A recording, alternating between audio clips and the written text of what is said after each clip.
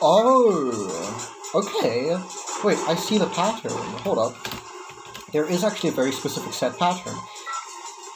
So she's gonna shoot two fast things, two tracking slow things, two fast things, and then two tracking slow things again.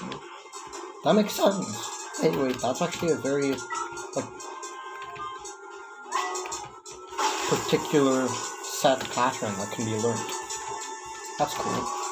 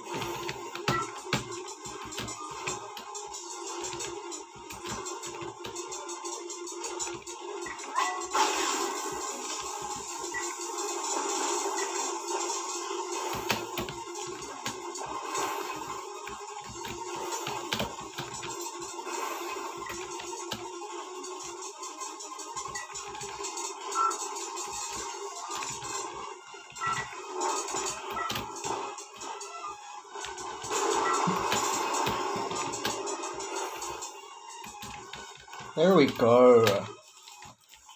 Man, um, okay, actually, let me just delete the other stuff. Okay, I'm gonna be honest. I did a Revengeance playthrough a couple of months ago as a rogue, and I just could not beat this boss. It was like impossible for me. But now, like, that was a really fun experience. I really, really enjoyed that. I really, really enjoyed that boss. I'm not gonna lie. Very, very well made boss. Very fair boss. A lot of fun, honestly. I think the main thing is that um, what do you call it? Um, I'm I'm I'm sorry, I know I'm talking here, but she has a really set pattern for her attacks that I didn't bother learning back when I did my Revengeance playthrough on Rogue. That I learned here, and that just made her so much more fun.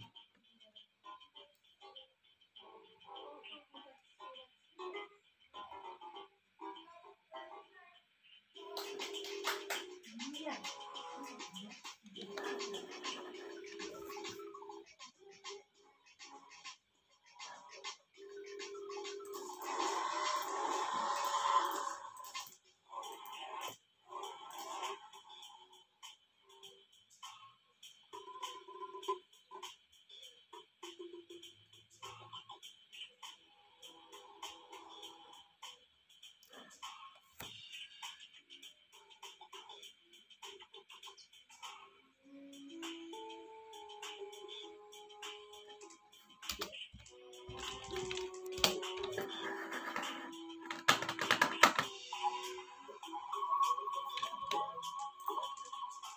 That was my only my 55th attempt? No way. No no no there has to be something wrong there right? No i did i, I died way more than 55 times. Okay.